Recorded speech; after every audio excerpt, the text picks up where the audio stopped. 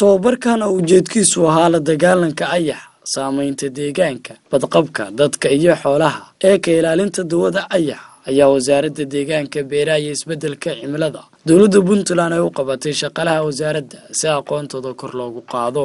Ayax ayaa dhibaato ku haya badiba deegaanada puntland isagoo si raxan-raxaan ah ugu habsanaya deegaanka. Tobabarkan oo lagu qabtay xarunta wasaaradda ayaa waxaa goobjoog ka ah agaasinka waaxda badbaadada beeraha agaasimaha guud wasiir ku-xigeenka wasaaradda iyo wasiir dowlaha wasaaradda. Agaasimaha waaxda badbaadada beeraha cabduqaadir cabdi samatar ayaa ugu horreyn ka warbixiyey micnaha guud ee tobabarkan suu dhalo suu tarmo suu egyahay suu u dhaqmo behaviorkiisa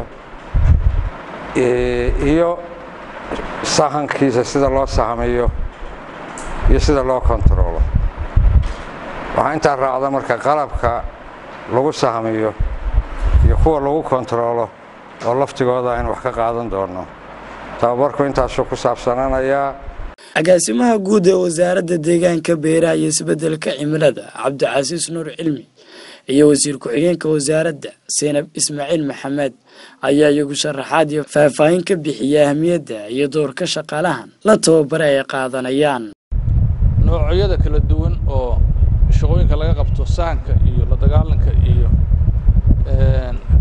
xoog raadintiisa kale.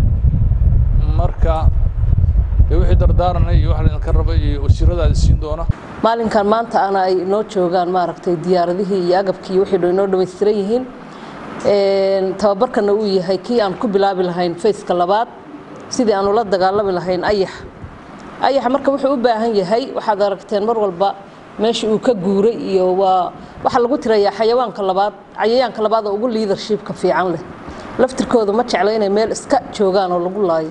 Marka waxaa laynaga rabaa inaad baadhaan oo la helo meeluhuu ku soo wajahan yahay si aynu uga hortagno.